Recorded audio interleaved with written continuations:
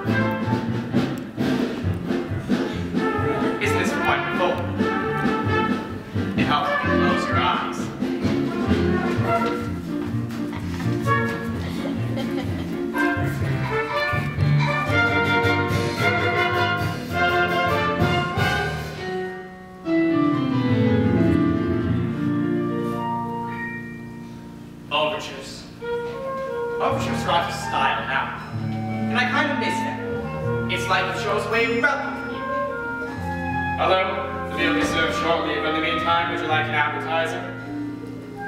That's just what an overture is. It's a musical appetizer.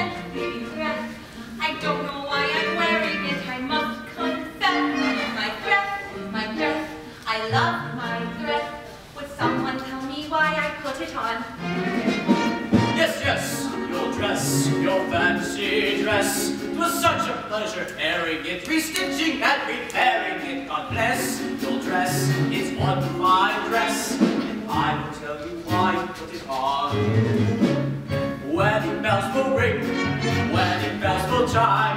Madam, you're the hostess and it's happy wedding time.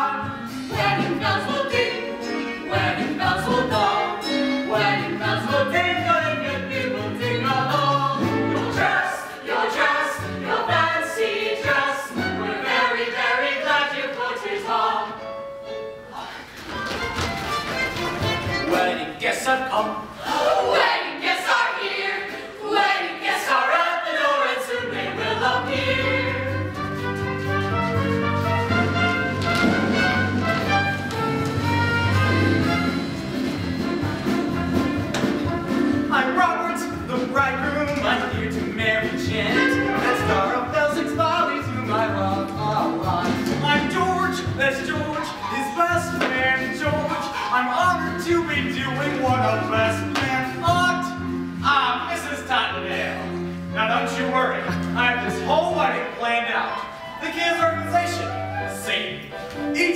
represents a task yet to be completed. Pay the musicians, yell at the florist, book the minister. This whole wedding's gonna run like clockwork. Oh, is there going to be a wedding? Yes,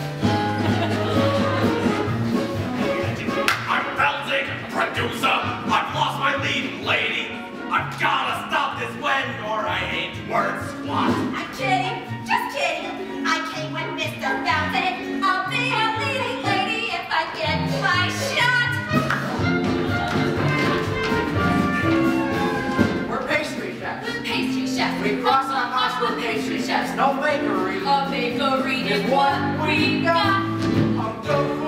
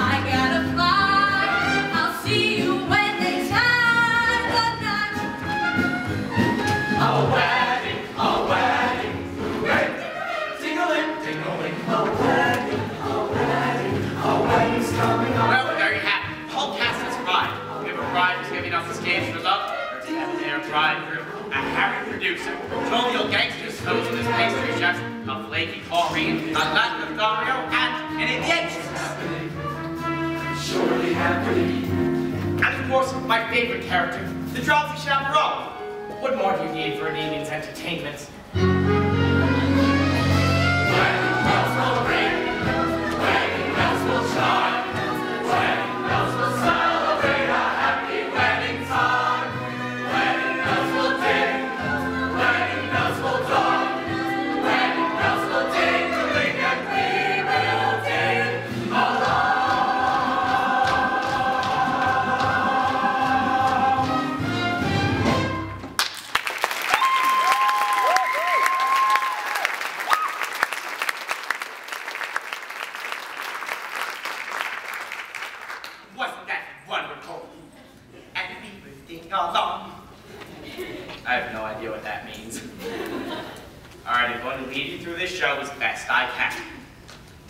Won't be hard to follow. So, we begin with a welcome from the love-struck group. Well,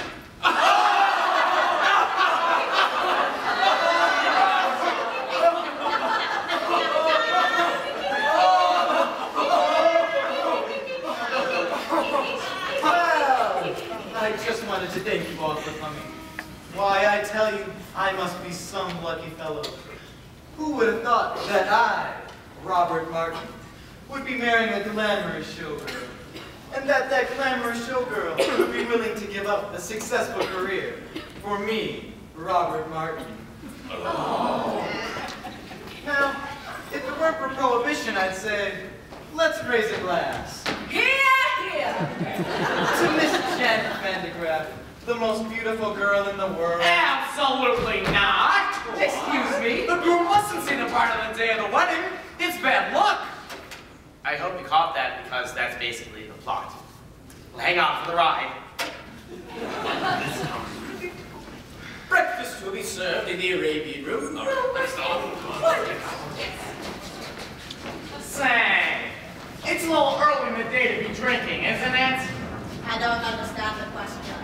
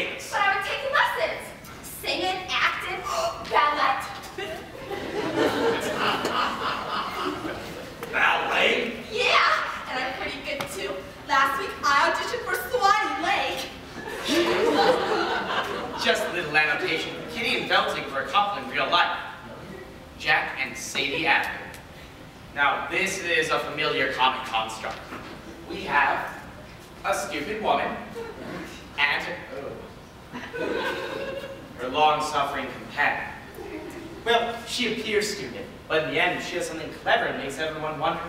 Was it really all just an act? Now, the irony here is that Sadie actually was quite stupid. Jack had to explain all the jokes to her, apparently. Still, she had a wonderful career on stage. Because at that time, the theater was the only place where stupid people could make a decent living. this is before television, of course. Kitty, I don't got time! Apathy for Mr. Feldzieg? Uh, not now. How about a nice profiterole? You guys, I'm not hungry. Well, then perhaps we can give you something else to chew on. Yeah, something that ain't food. What? Your confusion is to be expected. Although we stand here before you in the guise of innocent pastry chefs, we are also And primarily, employees of a certain individual A certain individual? a certain individual. A certain individual. who happens to be the largest single investor in Feldzieg's Bow. He has sent us here As pastry chefs. to express his concern for Miss Van De Graaff's impending nuptials. Specifically. After gets married and leaves the show, then there ain't no show. Say, don't I know you? No, you don't. Oh, you're spending time to it? Have you ever spent time in a coma? No, my cousin in Seattle. Kitty! You two, tell your boss. This wedding is never gonna happen. You have my word. Oh, we'll take your word, all right. But to go back on that word would be a recipe for disaster. We hope we've made ourselves perfectly eclair.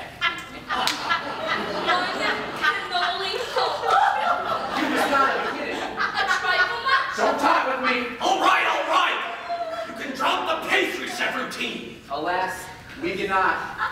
We're on the lamb. Plan for the entree, macaroon. The gangsters are played by the supposedly interchangeable vaudeville duo, the Tall Cousins, John and Elizabeth Tall.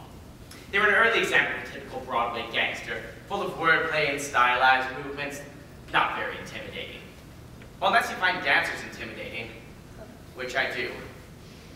But for reasons that would not be appropriate to this situation. We'll leave the matter in your hands, Mr. Feldzieg.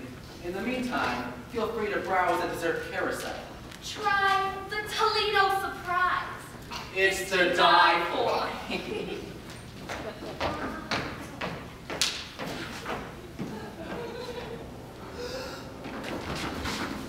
Holy cats, Mr. Feldzieg! They're gangsters! Very perceptive. Now go pound your face. I've gotta stop this wedding. But how? How? Oh, good Lord in heaven! How? I always moment was a little overplayed. so, with the plot well on its way, let's go to the groom's room.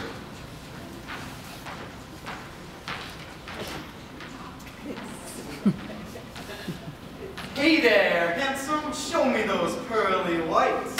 The groom was played by the dashing Percy Hyman. He started out to the Albright toothpaste man, and his fabulous smile adorned every tooth. Now, Albright was hugely popular in the early 20s because it contained caffeine. It's true. If you looked on the ingredients label, it was the fifth one down, right after sugar. It didn't take long before he became a huge matinee idol. Now, don't you worry. It's perfectly normal for a groom to be nervous on his wedding day. It is, of course. Now, some people may say that Percy Hyman was a bad actor. But to those people, I say, shut up. Hey there, Mr. Mirrorman, shaking and trembling like them fraidy cats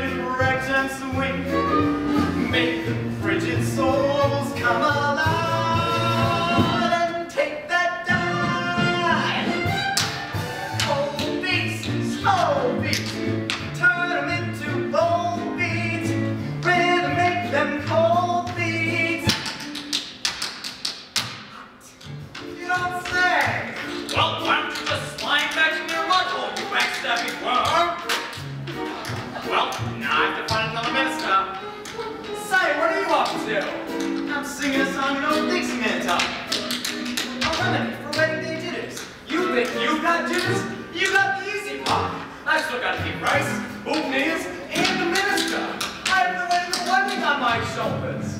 George, it sounds like you've got cold feet. What do I got? Cold